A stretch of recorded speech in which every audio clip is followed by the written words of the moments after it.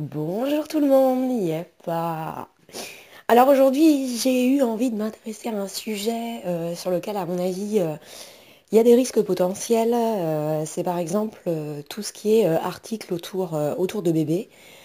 par exemple si je prends l'exemple des, tours de lit, on constate qu'à partir de quelques mois, bah, il est super important de bien mettre bah, le bébé dans sa gigoteuse. Euh, afin d'éviter en fait euh, qu'il ne bouge par lui-même dans, le lit, parce qu'un bébé, malgré ce qu'on pourrait croire euh, dès le début, ça bouge énormément. voilà, à force de petits mouvements et de petits mouvements et de mouvements de, rétractation et autres des jambes, bah, il arrive à se déplacer un petit peu. Et voilà pourquoi je parle des tours de lit, parce que c'est des trucs super qu'on a tendance vraiment à offrir. En plus, c'est très coûteux. ça peut atteindre une centaine d'euros pour certains. Et euh, ce qu'on remarque, c'est que euh, quelle est l'opportunité de ce tour de lit? Ben, J'aurais tendance à dire que c'est joli, c'est sympa, c'est beau, euh, ça rend la chambre de bébé chaleureux. Mais au fond, qui ça rassure? Ben, Peut-être plus la maman, visuellement, parce qu'elle est capable de donner du confort à l'enfant, ou le papa d'ailleurs, ou l'entourage. Mais à côté de ça, j'ai envie de dire que attention, parce qu'on on l'a constaté, je l'ai lu sur des forums notamment, et les pompiers pourraient peut-être éventuellement en parler également, ça pourrait être intéressant. Mais voilà, les risques sont euh, bah, l'étouffement en fait.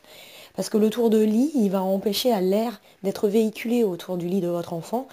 Et euh, le petit bout, ben, quand il se perd dans le lit, eh bien, malheureusement, il peut avoir la tête justement coincée dans ce tour de lit et ne pas réussir à se démener et vous euh, ne pas vraiment l'entendre parce que voilà, même s'il a des petits pleurs quand il manque d'air, ben, il sera étouffé peut-être un peu dans, dans son tour de lit et donc il y a vraiment des risques à mon sens. Donc moi j'ai plutôt en préconisation et bonne pratique, je dirais plutôt aux mamans, euh, bah, dégagez vos lits au contraire. Euh, le tour de lit c'est sympa mais euh, on ne sait jamais. c'est tellement dur d'avoir un enfant de nos jours que quand ils sont là, voilà, faut tout faire pour que bah, il n'y ait pas de risque associé à leur petite vie, à leur petit dodo. Donc le tour de lit, moi je serais vous, bah, je l'enlèverais, voilà. Ne sait-on jamais. Et puis à côté, euh, pas trop de doudou et de nounours également dans, les lits, parce que là c'est pareil, l'enfant a tendance à beaucoup bouger, on ne sait jamais où sa petite tête peut aller. Donc voilà, on aère, on libère, on enlève le tour de lit.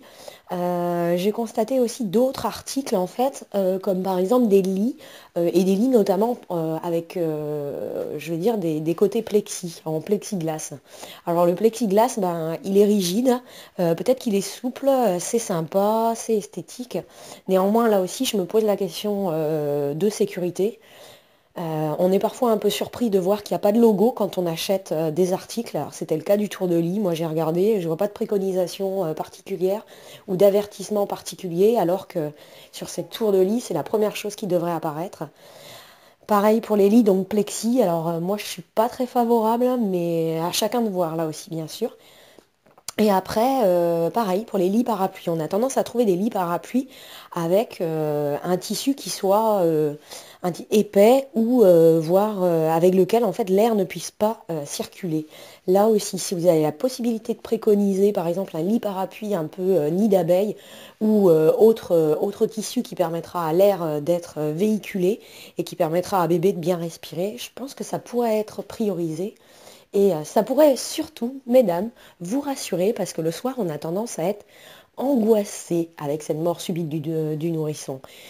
Donc voilà, vous dormirez peut-être un petit peu mieux si vous savez que euh, l'espace de bébé est bien délimité et que dans son lit, dans tous les cas de figure, même s'il bouge, eh bien, il ne risque pas grand-chose. Voilà, je vous souhaite euh, des doux rêves à tous et euh, un bon épanouissement de vos babies.